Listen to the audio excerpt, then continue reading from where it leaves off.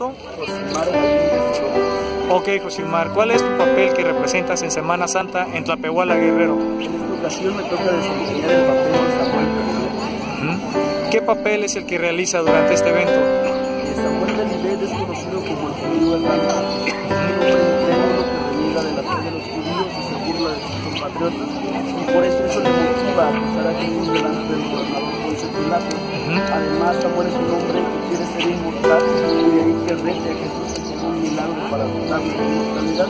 Al final de la representación, Jesús maldice a Samuel condenando la inmortalidad como un castigo y lo condena a eterno.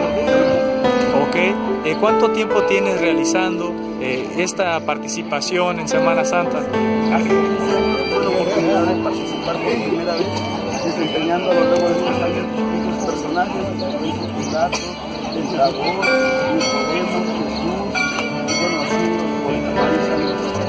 Muy bien.